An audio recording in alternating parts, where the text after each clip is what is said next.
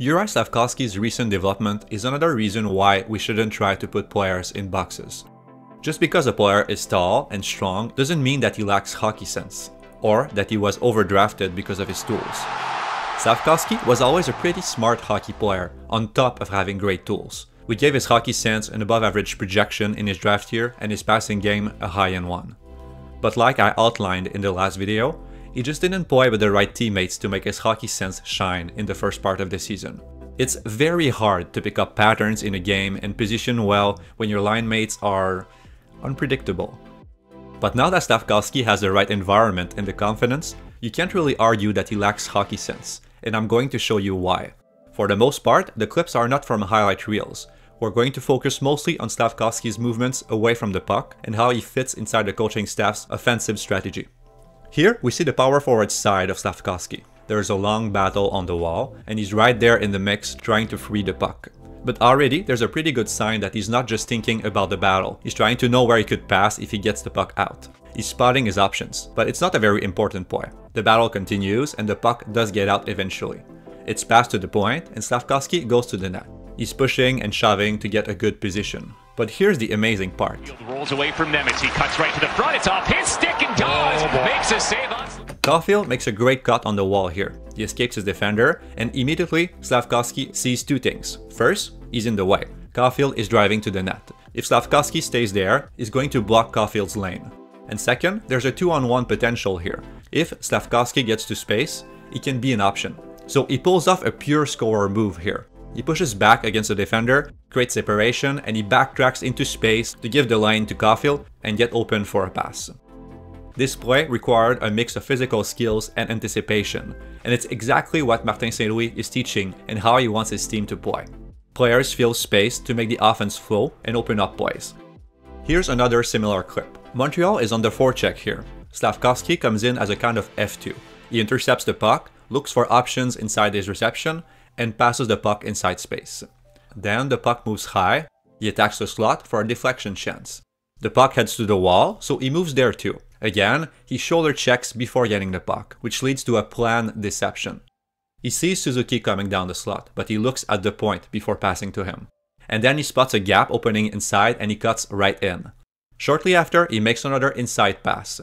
These plays don't lead to a scoring chance, but they could have, if Suzuki made his return pass quicker or if his teammate was right-handed. Slafkovsky moves behind the net and then in front again to deflect this shot. Here he anticipates the rim and takes an early inside position on this defender to get to it. The puck gets away from him, and there's a bit of confusion here with his pinching defenseman, but Slafkovsky continues moving in support. And I like his read here.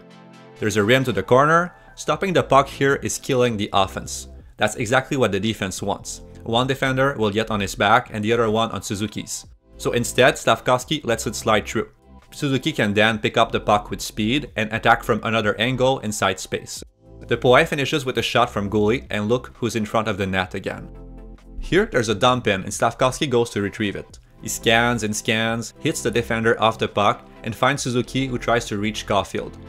The puck moves high, and Slafkovsky ensures by going to the net. His simple presence there means that the defense has to regroup around the slot and keep him in mind. That creates just a bit more space for his teammates. He also tries to play between opponents to remain a good option for his teammates below the goal line. He gets a pass, and then he transfers the puck to Suzuki at the far post for an amazing scoring chance. That play wasn't luck. He peeked around to see his next option and the space he had with the defense first. It's his awareness, even more than his frame and net front play, that enabled him to make that play. This is a great play that actually leads to a highlight reel goal.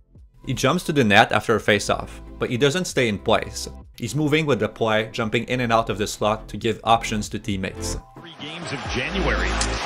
The last as Oscar makes saves couple times just outside the crease. Short angled score. What a shot. Slafkovsky. Slafkovsky is also showing more abilities to make plays with the puck now. That's a really beautiful give and go with Suzuki. He has the presence of mind to not dump this puck in, but use the speed of Suzuki behind him. After his pass, he controls his speed and remains inside space to get a good shooting opportunity. Keep it in, Strome's pass. Tipped by Carlson right to the doorstep and unable to flip the shot was Henrique as he tried to spin and shoot all at once. Chipped ahead, Slafkovsky gets around his man, redirected in by Suzuki. At the start of the season, Slafkovsky would have probably tried to one-touch this puck to Suzuki. He would have forced it through the defender to get it off his stick as soon as possible. But he doesn't do that here. He controls the puck, fakes and waits out the defender as he goes down, and makes the best play. Slafkovsky now draws the defender, uses the boards, finds Matheson. Slafkovsky right on the doorstep and unable to shovel it home was Caufield, but it comes across and they score. Slafkovsky might not ever think the game at the Nick Suzuki level, but it seems very likely that his hockey sense will become at least above average in the NHL.